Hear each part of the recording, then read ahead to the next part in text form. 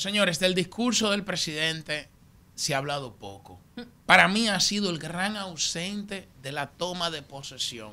He visto, eh, eh, estuve en una cobertura y he visto la cobertura de los medios y el 90% se centran en los trajes bonitos que llevaron los funcionarios, en que fulano estuvo muy bien acicalado, en el porte de fulano, en los zapatos de fulano, en las personalidades que fueron y todo esa, toda esa estética. Y por eso yo decía que mi miedo era el significado social de la institución donde se estaba desarrollando la toma de posesión, que en sentido general quedó muy bonita, pero, pero la esencia es celebrar que el presidente asume las riendas del Estado por un nuevo mandato y que nosotros tenemos que ver qué es lo que se propone hacer el presidente para los próximos cuatro años.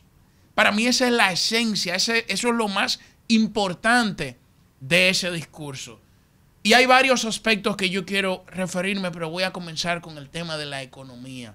El presidente dijo que el crecimiento económico ha sido en promedio un 6.2%. Y yo me preguntaba de dónde el presidente sacó el dato de que la economía ha crecido un 6,2%. Y porque usted ve, por ejemplo, cuando ve los datos de la economía desde el año, nosotros no podemos tomar como referencia el año 2020 porque la economía estuvo cerrada. Por tanto, tenemos que tomar como referencia el año 2019. Pero cuando usted ve los informes del Banco Central, el Banco Central dice que el crecimiento real de la economía en el año 2001 fue, 2021 fue de 4,7%. Que el crecimiento de la economía en el año 2022 fue de 4,9% que el crecimiento de la economía del año 2023 fue de 2,4%, el crecimiento económico más bajo, más bajo de los últimos 30 años, si excluimos los periodos de crisis económica. Entonces yo me preguntaba, ¿cómo es que, o sea, cuál es el dato de que la economía creció un 6,2%? Entonces se fundamenta en el rebote estadístico que se produce en el año 2021, porque el Banco Central dice que la economía creció un 10, el Banco Central lo dice un 12,3% en el año 2021, pero que el crecimiento real fue un 4,7% porque la economía estaba cerrada. Pero calcúlelo usted para que usted vea cuánto le da el promedio. El promedio a mí me dio un 4,3%, que es un crecimiento por debajo del crecimiento potencial de la economía dominicana y muy por debajo del año 2019 que la economía creció un 5,1%. Ahora, la CEPAL es una proyección de que la economía dominicana será la que va a liderar el crecimiento de la región y nos proyecta en un 5,2%. Yo digo, bueno, qué bien, pero usted ve que yo hablo de tantos porcentajes porque lo que quiero es, primero, buscar eh, eh, el fundamento de un planteamiento y segundo, pasar a desglosarlo. O sea, ¿cómo le podemos decir a este país que ha habido una reducción de la, de la política monetaria a un 18,9%? Esto es un indicador que mide, por ejemplo, eh, la canasta básica familiar. Es el índice que mide los ingresos en función de la canasta básica familiar. Si la gente tiene la cantidad de ingresos suficiente para comprar los bienes y servicios básicos para su subsistencia. ¿Qué pasa? Que el costo promedio de la canasta básica familiar en nuestro país es de 45 mil pesos, o sea, supera los 45 mil pesos el costo promedio de la canasta básica familiar en la República Dominicana. Y tú tienes que casi un 70% de los salarios formales de la gente que cotiza en la seguridad social gana 30 mil pesos o menos en este país. Entonces, imagínense una gente que gana un salario de 15 mil pesos, tiene que buscar tres veces su salario para costear el precio promedio de la canasta básica familiar. Por eso es que la gente dice que no siente el crecimiento de la economía dominicana, que el crecimiento de la economía se concentra en un grupito y nosotros no podemos creer que el crecimiento de un grupito significa riqueza económica de toda una nación.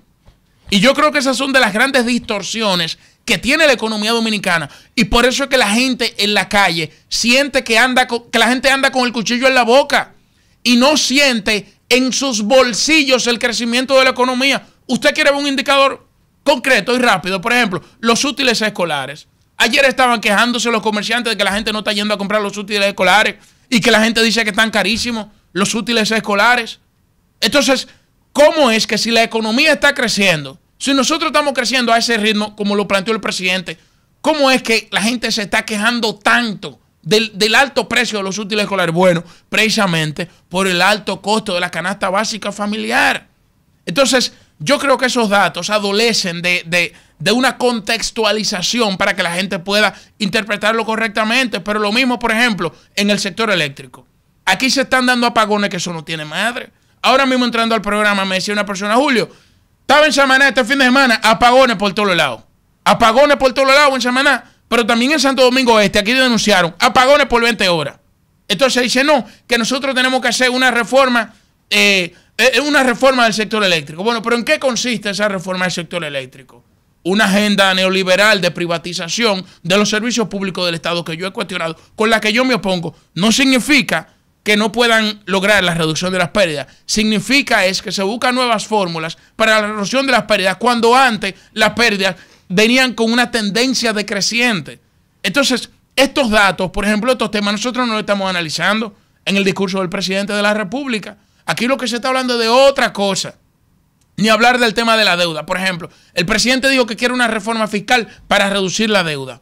Pero cuando usted ve la deuda, como ha crecido, que yo he mencionado el caso de CRES, dice que a mayo de este año la deuda había crecido en más de 74, de, más de 74 mil millones de dólares, o sea, ascendía la deuda. Había crecido en estos últimos cuatro años más de 27 mil millones de dólares. Entonces, esos son los temas que nosotros tenemos que abordar en este país. La canasta básica familiar que está altísima, está por la nube. Y no hay manera de que tú le digas a una gente que la economía de este país está creciendo, porque no lo sienten en los bolsillos. El, el tema eléctrico, que tenemos que centrarnos en la reducción de las pérdidas. Para eso hay que invertir, pero no querer decirle a uno, no, que hay que depolitizar las EDES, hay que depolitizar las EDES, porque el problema es la supuesta politización. Ajá, pero tienen un político también nombrado en las EDES, que yo creo en los políticos cuando tienen criterios gerenciales.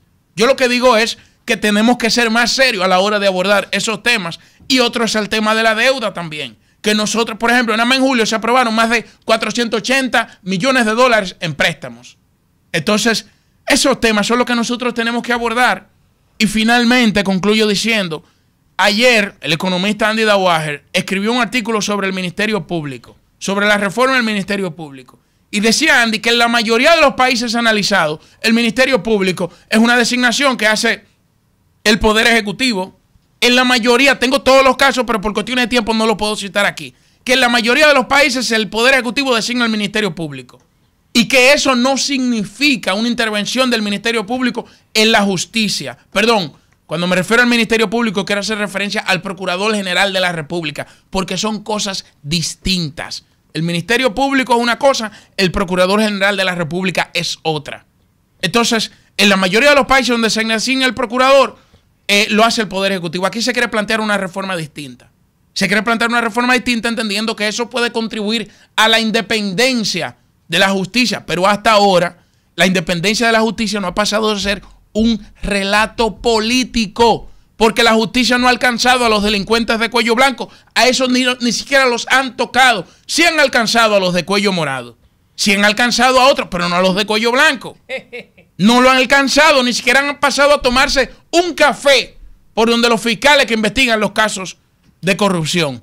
Entonces, estos temas nosotros tenemos que abordarlos y no centrarnos en temas estéticos, que fulano fue con un traje bonito, que fulano, eso son cosas análisis de otra naturaleza.